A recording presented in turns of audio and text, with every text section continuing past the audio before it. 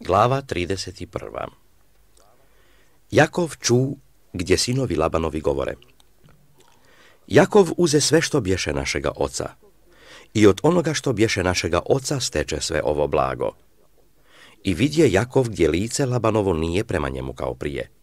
I gospod reče Jakovu, vrati se u zemlju otaca svojih i u rod svoj i ja ću biti s tobom. I poslav Jakov dozva Rahelu i Liju u polje k stadu svojemu i reče im, vidim gdje lice oca vašega nije prema meni kao prije, ali je Bog oca mojega bio sa mnom. I vi znate da sam služio ocu vašemu kako sam god mogao, a otac me je vaš varao i mijenjao mi platu deset puta, ali mu Bog ne dade da me ošteti. Kad on reče, što bude šareno, neka ti je plata, onda se mladilo sve šareno. A kad reče, s biljegom što bude neka ti je plata, onda se mladilo sve s biljegom. Tako Bog uze stoku ocu vašemu i dade je meni. Jer kad se upaljivaše stoka, podigoh oči svoje i vidjeh usnu, a to ovnovi i jarci što skaču na ovce i koze, bijahu šareni, s biljegama prutastim i kolastim. A anđeo gospodnji reče mi usnu, Jakove, a ja odgovorih, evo me, a on reče, podigni oči svoje i gledaj. Ovnovi i jarci što skaču na ovce i koze, šareni su s biljegama prutastim i kolastim, jer vidjeh sve što ti čini Laban. Ja sam Bog od Betela gdje si prelio kamen i učinio mi zavjet. Ustani sada i idi iz ove zemlje i vrati se na postojbinu svoju. Tada odgovori Rahela i Lija i rekoše mu, E da li još imamo kakav dio i našljedstvo u domu oca svojega? Nije li nas držao kao tuđinke kad nas je prodao? Pa je još i naše novce jednako jeo. Jer sve ovo blago što uze gospod ocu našemu, naše je i naše djece. Zato čini sve što ti je gospod kazao.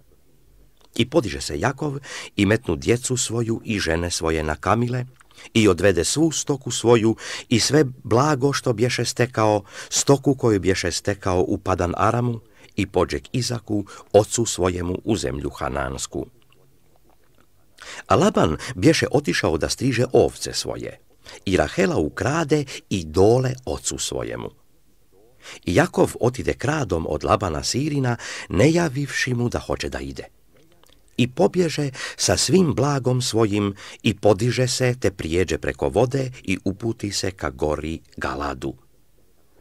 A treći dan javiše Labanu da je pobjegao Jakov.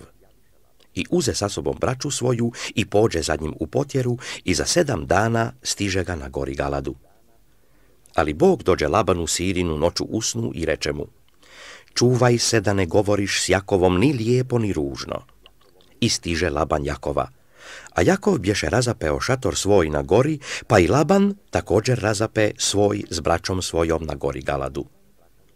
I Laban reče Jakovu, što učinite kradom pobježe od mene i odvede kćeri moje kao na mač otete? Zašto tajno pobježe i kradom otide od mene? Niti mi reče da te ispratim s veseljem i s pjesmama, s bubnjima i guslama. Niti mi dade da izljubim sinove svoje i kćeri svoje. Ludo si radio.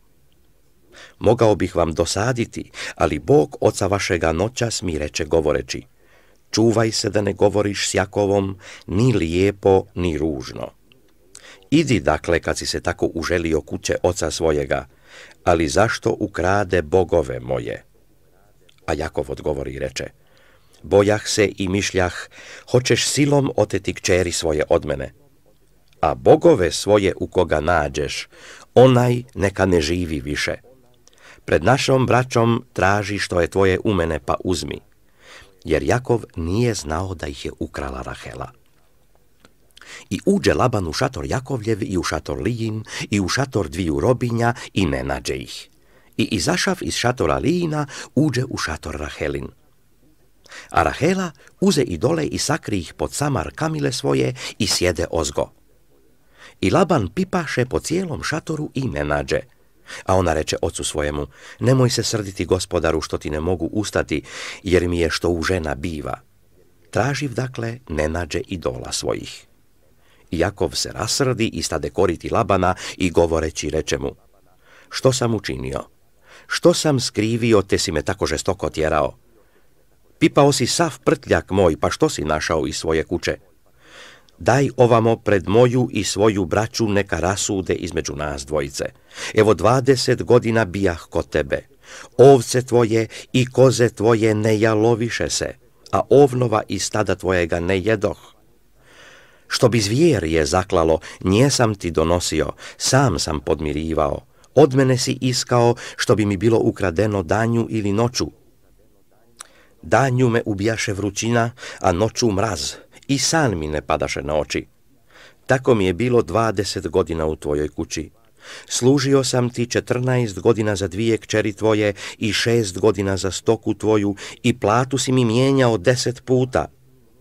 Da nije Bog, oca mojega, Bog Abramov i strah Izakov bio sa mnom, bi me za cijelo otpustio prazna, ali je Bog vidio nevolju moju i trud ruku mojih, pa te ukori noćas. A Laban odgovori Jakovu i reče, ove su kćeri moje kćeri, i ovi su sinovi moji sinovi, i ova stoka moja stoka, i što god vidiš sve je moje, pa što bih učinio danas kćerima svojim ili sinovima njihovim koje rodiše? Nego hajde da uhvatimo vjeru, ja i ti, da bude svjedočanstvo između mene i tebe. I Jakov uze kamen i utvrdi ga za spomen. I reče Jakov braći svojoj, nakupite kamenja, i nakupiše kamenja i složiše na gomilu i jedoše na gomili. A Laban ga nazva Jegar Sahadut, a Jakob ga nazva Galat. I reče Laban, ova gomila neka bude svjedok između mene i tebe danas. Zato se prozva Galad. A prozva se i Mispa, jer reče Laban, neka gospod gleda između mene i tebe kad ne uzmožemo vidjeti jedan drugoga. Ako ucviliš kćeri moje i ako uzmeš žene preko mojih kćeri, neće čovjek biti između nas, nego gle Bog svjedok između mene i tebe. I još reče Laban Jakovu, gledaj ovu gomilu i gledaj ovaj spomenik koji podigoh između sebe i tebe. Svjedok je ova gomila i svjedok je ovaj spomenik, da nija neću prijeći preko ove gomile k tebi, ni ti k meni da nećeš prijeći preko ove gomile i spomenika ovoga nazlo.